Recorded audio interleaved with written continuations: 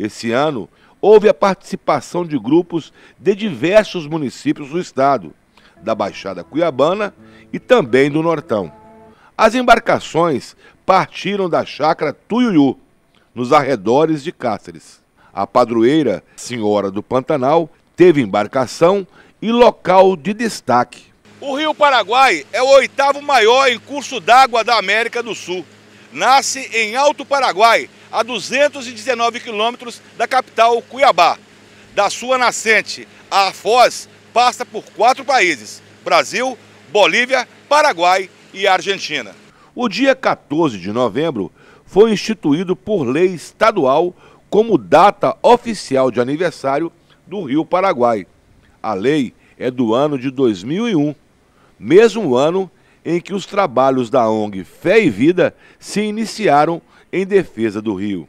Cada dia a gente cresce mais, né? É, e o povo é, vai assumindo essa caminhada, né? não como um dia de festa, mas um dia de luta e um dia de garra do povo cacerense, do povo ribeirinho, do povo pantaneiro às suas águas né? e, e organizando a sua gente para a defesa dessas águas. É, esse ano, cada ano a gente tem um lema, né? esse ano então nós estamos com o lema é, Rio Limpo, Rio Vivo e Sem Fronteira, né, para que é, a gente cuide desse rio, para ele continue é, tratando o nosso povo né, e nós tratando dele como parceiros para continuar a vida aqui por muitos e muitos anos. Dia 14 de novembro é um dia também de festa, porque a gente celebra a alegria de ter esse rio e ao mesmo tempo a gente luta por esse rio, porque a gente quer esse rio livre, sem agrotóxico, a gente quer esse rio com peixe, a gente quer esse rio com pescador pescando dentro dele também porque tudo isso é vida. Seguindo o cortejo, passamos por áreas onde o rio é sacrificado por dragas e é visível o assoreamento. Esta pescadora nos falou sobre o cota zero e também externou sua indignação como são tratadas as comunidades ribeirinhas. Nós, pescador profissional, nós somos fiscal do rio. Nós somos fiscal do rio. Agora, tirando nós a beira do rio aí, vai ficar melhor ainda para sair peixe irregular, como já sai muito peixe irregular aí, com nós dentro do rio. Imagina com nós fora do rio. Você está entendendo? Esse, agora eu não entendo como é que faz, como é que pode é, falar que nós, pescador, o pescador profissional que acaba com o rio, que acaba com os peixes, não é, gente.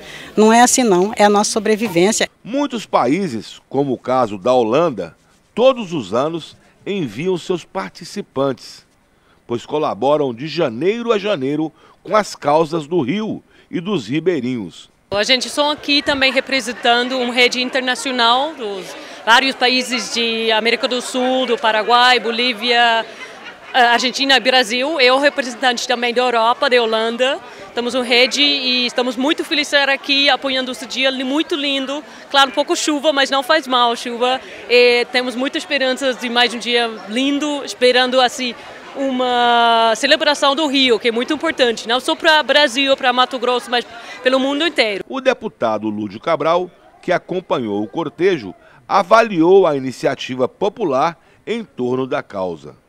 São os movimentos populares, os ribeirinhos, aqueles que convivem com o rio pacificamente, de forma sustentável, dando o seu grito de resistência em defesa da preservação do Rio Paraguai, de todos os seus afluentes, de toda a bacia, da biodiversidade que ele tem e do Pantanal. O Pantanal é alimentado pela bacia do Paraguai e hoje está sob ameaça de todas as maldades que a ganância do poder econômico produz sobre o nosso estado hoje. Então é um movimento popular do povo simples, humilde, que sobrevive e convive em paz com o rio.